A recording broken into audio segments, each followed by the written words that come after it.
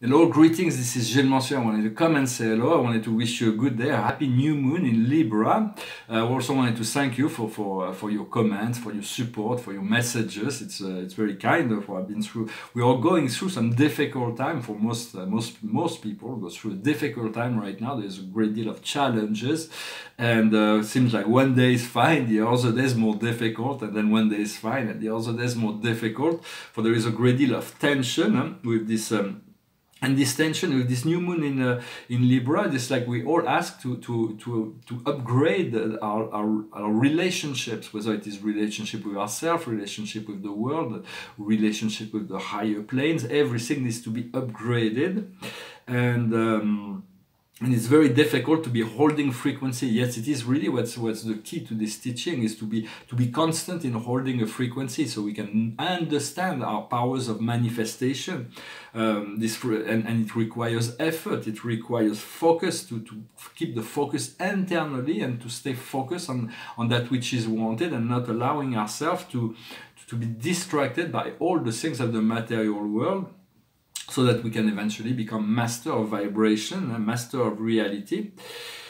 And so um, for for Libra is like um, this this this this time of Libra, this this new moon is uh, is um, is promises justice and, and balance and equilibrium, but we don't always feel that. Eh? We don't always uh, we don't necessarily feel it. It's it's not something that's always present, and sometimes uh, so so it is good to to be. Um, to pause as much as possible if you can afford to pause and and, and take the time to pause um, because this um, there is this opposition with the moon and Chiron, Chiron, which brings about the wounds, and so so there is a we, we can be feel like we are we're in a cold hard place huh? we're not always in the it's like over this cold hard place those doubts overshadowing love and magic sometimes and so just be patient and allow yourself to to pause as much as possible. And there is a, this, also the, the, the square of Venus to, to, to the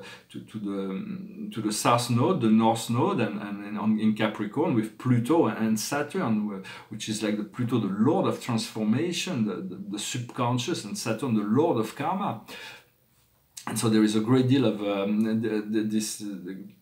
It's not as easy of a moon as we, we could uh, could imagine. Although the, the, there is a great promise of liberation, Spirit is telling me that I have this liberation that's right ahead of me but it can feel a bit heavy with this Saturn, Saturn, South Node, and Pluto that are in Capricorn that are always pouring down. For originally, this planet was in, a spiral of ascension, like every other world that God created. Uh, it was just a spiral of ascension. People would come to incarnate on the planet, would be uh, living in the physical, but connected to the divine forces of the universe that would give us guidance every step of the way. And eventually, there were some beings, that darker, darker soul, that came in and to control over this matrix, took, took the planet from the, the ascension spiral and, and threw it in the center of a wheel of karma where beings would have to, to suffer again and again and again through reincarnation process of incarnation and reincarnation through, through this this wheel of karma so they could continue to nourish the the, the, the, the controllers of the matrix who feed them who feed from negative energy.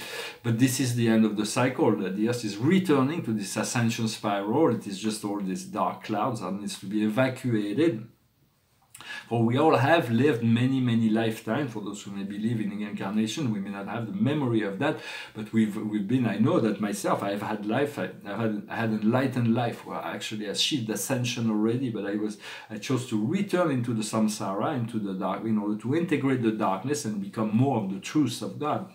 And, so I explored that lifetime where I explored power, I explored um, military conquest, I explored. Uh, so we all explored all those things. We, we've been we've been um, we, we've been through every role. And so we do not want to judge others too severely because we might have done some things like that in the past. And um, and um, and, and, and we, we don't remember. So and sometimes when we judge someone for something we end up in a situation where we do something similar. So it is good to, to stay light and to, to remain um, to keep the, the forgiveness aspect uh, uh, for ourselves and for others as, as um, as activated as possible. The highest wisdom for, for us uh, this for this moon is the heart drop. It is the, the oasis in the desert. It is wisdom. It is the situation. The situation is wisdom. What comes around that is the moon. It is the test. It is the phallic mushroom. It is um, it is the the the, the last uh, the, the, the walking through the, the valley of the shadows in order to emerge into the light. So but it is uh, it is we, we are we are being tested and we are testing ourselves to test our power our power to focus on what is positive in order to, if we can focalize enough on what is positive we'll become to manifest and we'll come to realize but sometimes it's not easy because we have those things those negative energies the negative patterns that are activated within ourselves that we always have to bring into balance. And, and that's why forgiveness is so important. What we see in, the, in our conscious mind that may unfold before us is the past. It is a dangerous pussy. So it's about integrating the past with compassion and lucidity so that the past doesn't come to bite us in the back and the ass, so to speak. What we have in our subconscious is survival. We want to come out of survival. It is garbage. It is the pollution. It is it is this worry. It is there is no more need. We have to rely on our inner truth. Where we are now is the, is the earthbound. It is the, it is the the salvation it is the universe it is being able to be detached from the lower lower thought form and matrix. What's coming up in the near future is the waves of bliss. So there may be some, uranus may bring some amazing surprises into the mix. There may be uh, maybe great love great resources with money uh, opportunities uh, romance all kinds of things can come in the near future. This, where we are in the situation our strength within the situation is a deep end so we are really at the end of the of the end of the of that old cycle. What comes to us from our surrounding, our, our environment, is just passing through. Everything is in transformation. So so we have to we have to to, to hold on to pause as much as possible to see the, the to see how to transform our life to increase the quality of our life for the, the 21st century. My master guide explained to me that in the in the 20th century a long time ago when i first conversed with him that the, the, the, shift of consciousness for the whole of humanity in the 21st century will not be about the accumulation of money and the power of others, it will be about the quality of life. Quality of life, it's really what, what it all comes down to that, even though my, my life is not on the highest quality I could imagine. That's why sometimes I feel like, well, what's the, if I cannot manifest the life I need to, to find a quality of life, maybe I don't need to be here, but Spirit says it's coming, so I have to hold on and be patient as much as possible. Um, what's in our inner emotion, our hopes and fear, is the chameleon. It's it's it's a, it's a position that doesn't feel very grounded because we feel like we, it's the ability to adapt to whatever's coming, to adapt to the environment, but we need grounding also. And the chameleon is never really grounded because it's always shifting to adapt to its environment. So always be like a tree, anchor your roots and, and know who you are as much as possible. And the outcome for the universe is assisting in this self-empowerment and the outcome is the burning bush the lineage tree it is the connection to our spirit soul and family.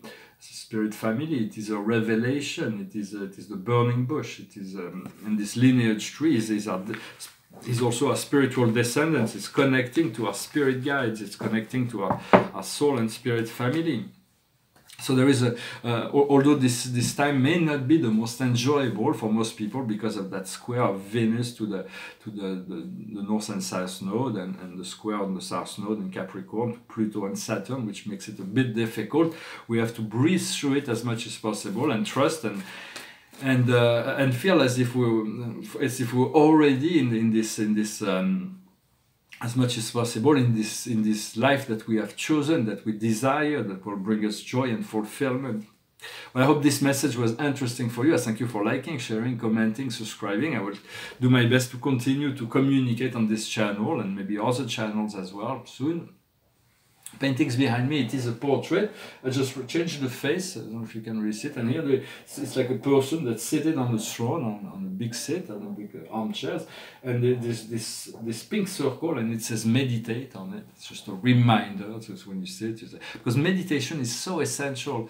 Meditation prayer walk in nature those are the three things that really brings you bring brings you back to what is essential is the, the well-being of, of our inner self. So it is those are very important important aspect of um, of the experience. We do need that. Huh? If we, if we let, let go of those things, we, we, we get completely uh, absorbed in this in, in this outer world. So we want to want to keep uh, do the effort to focalize on the inner world as much as possible.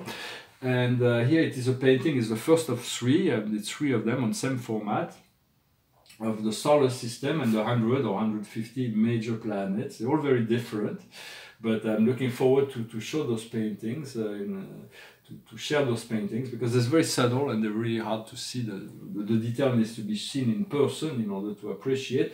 And, but they, they, I've been doing them, for, I've been looking at them for years and I'm still not tired of it. I hope, I'm, I hope I'll be able to find a public um, in the art world, collectors, museums, galleries, um, um, dealers that they will that will be uh, sensitive to this to that which I'm proposing in this because I see there's a lot of things uh, there is a great deal of increase in consciousness that is also coming through the coming in, um, in the art world I'm going to pull four more cards from the Akash.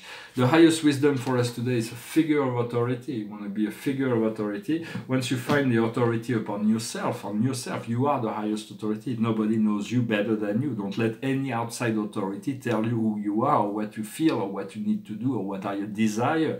This is uh, all um, to become uh, empowered and to become an authority what we need to understand is community life, how to apply this authority to the administration of society, how to become a, to, to become a coordinating force and, and to, to be able to integrate ourselves within that society and in the same time because we do want to raise it up, but it's we have to accept the situation as it is. And sometimes uh, people um, like the increase in, in technology is moving really fast but the, the, the level of, of ethics how do we use technology uh, it's not always it's not always used for the highest good of all. And and so it's like um, humanity is facing uh, there's um, thank God there is a supervision of spirit. If things go too far off, uh, spirit will uh, will censure it. I'm sure because it's like we're, we're, getting a lot of technology that are very dangerous for for the collective of humanity, and they are into the hands of people or even military technologies that are not really. Um, that are getting more sophisticated, but the, the, technology will have to, to be used with consciousness, with ethics, with love, and so the, to increase the quality of life once again, not to apply power on the world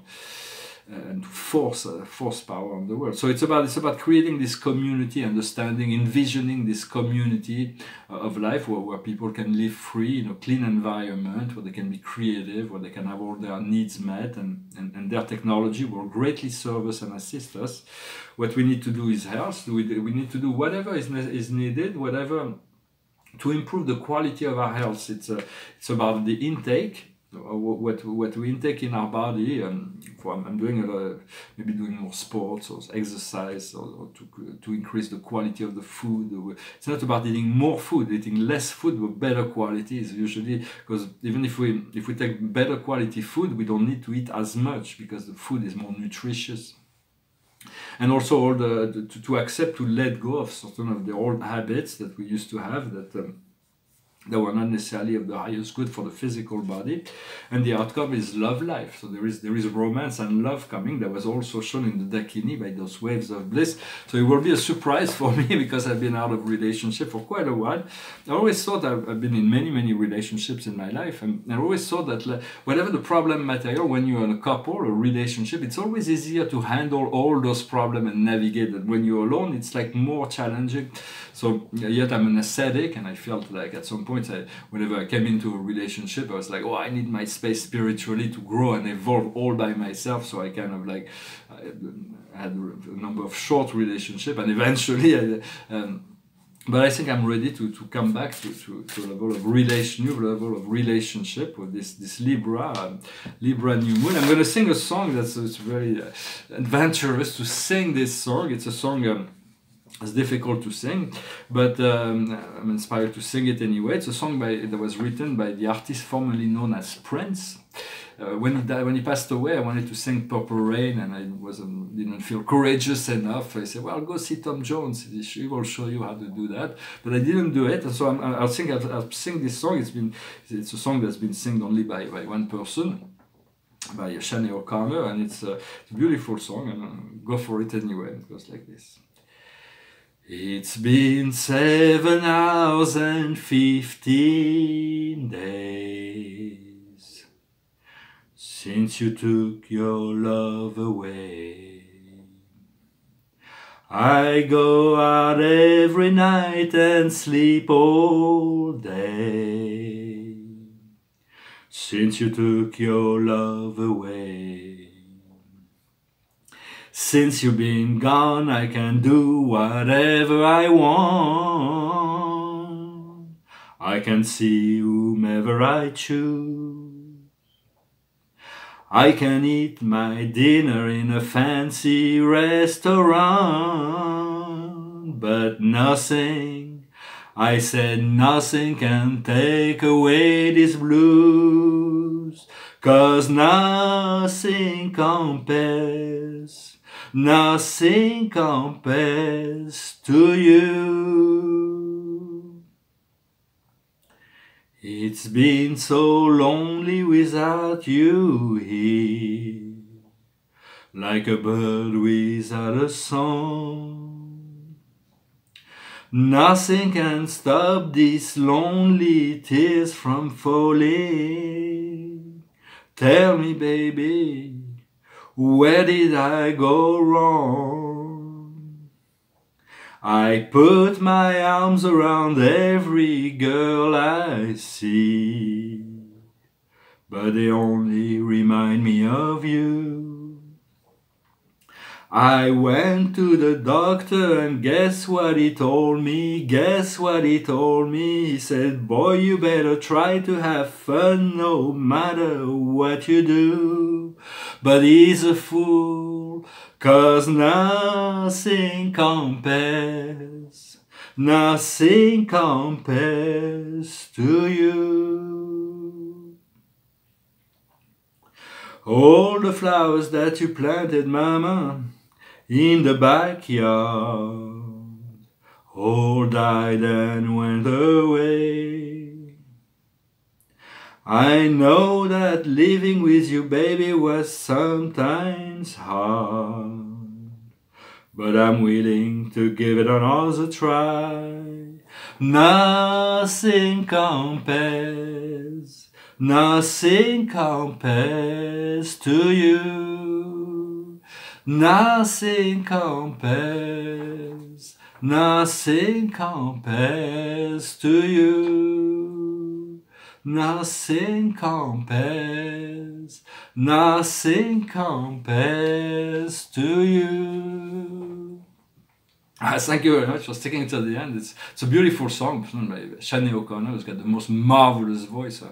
But I just was just inspired to sing it anyway, so I thought I went for it, like bold courage. you know, it's like jump into it. For, for when we don't know how to do something, by doing it anyway, we, we learn, we practice in doing it. No matter what we, we feel inspired to do, it is good to do it, even if we're going to fail many times. If uh, for an, well, uh, climbing mountains is, is, is, dangerous. I'm not talking about just doing some like extreme things, but in many many small things, it is good to to practice those things so we feel uh, we familiarize ourselves with those things and. Um, in practice, like the arts, it took me seven years before I could paint my first paintings. And for seven years, after I came out of art school, I used to paint paintings, but they would look like someone else until I went there, they just came out. So the, the card of the day is the chariot, is the archangel Metatron.